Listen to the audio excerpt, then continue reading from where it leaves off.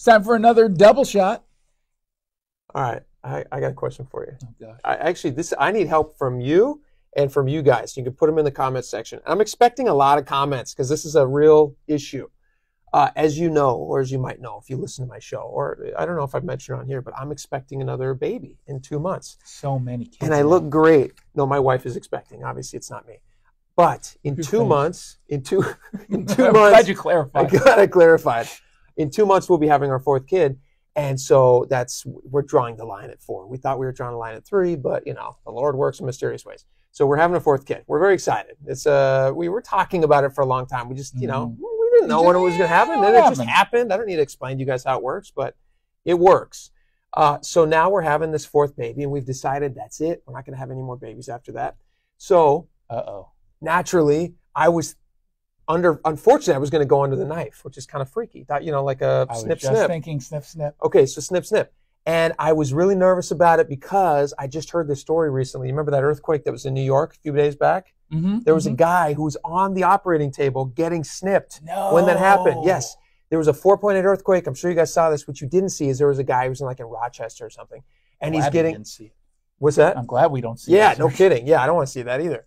But he was in the middle of a vasectomy, and the doc- he thought the doctor was playing like a dumb joke on him or something, which is ridiculous. Like, why would a doctor do that? So the doctor sets all the scalpel down and all, whatever they do to. Little snip snip. I don't think they cut it off, right? They, I mean, they, They just make us a cut, don't they? And then tie tubes. Ah, or they I don't know. Anyway, scary. Uh, he sets down the stuff, and the guy's like, "Was that a joke?" And the guy's like, "No, I think we had an earthquake." And he thought he was joking. Anyway, so this is getting me all like, I'm all kind of freaked out about Yeah. it now. So then my wife tells me the other day, and here's the here's the twist in the story, and where I'm, I don't know how I should feel about my wife, based on this information. She tells me because our first baby is probably too much information, but our first baby we had to have an emergency C-section, and once you have a C-section, there is a very good chance that you have to have a C-section for Mhm, further babies. mhm. Uh, we didn't for our second and third for some Really? reason, but we might have to Okay. for our fourth. So my wife says, "Hey, I I was uh, I found out. I guess she knew this information. She didn't tell me. But if if she's open on a C-section on the table, you just tie her tubes up.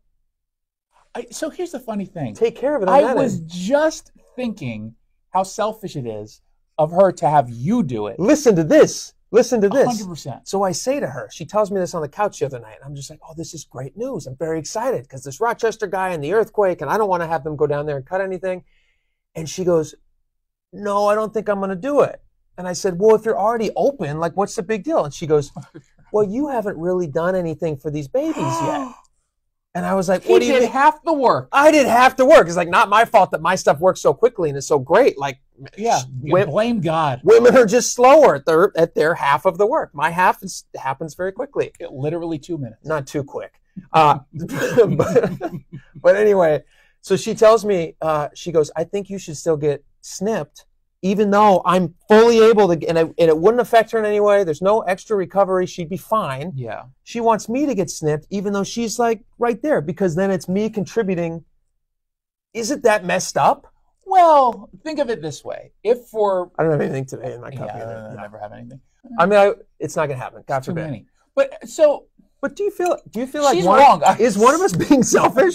And is that person my wife? I think she's wrong here. It's easier for me to judge on this, and Yeah. certainly for you because Because but I I, mean- agree with what you're saying. yeah. But I mean, why go through two surgeries when you can just go through one? Now this is all contingent on her having a C-section. Yeah, which So, but I don't want her that to happen. But if it does If it happen, does. like there is a sunny side. see that I think is very good on you because you're saying, look, if you don't have to have a C-section, I'm not going to be praying for it. Then I'll get Then snip. I'll go ahead and get snip, snip, Absolutely. and potentially get it damaged forever. I hope that's not the case. Uh, what I would like is an overwhelming support for myself and not for my wife in the comment section. I wanted to root that, for your wife so badly. I know you did, I, can't. but you can't. I, think you're right. I think a reasonable person cannot root for my wife in this think so. situation. Is she mad? No, she's like, she's like, I just, that's how I feel, and I'm Could like, you slip the doctor like a twenty? You say, hey, just like, hey, she's why- not going to know. while you're down there. Now I'm pretty sure there's some rules against that, but I don't know. Oh, I don't know. I'll well. try. We'll see what happens. She wouldn't even know. We'll see what happens. Okay, we'll Yeah, see what happens. Let me know. We'll see you next time.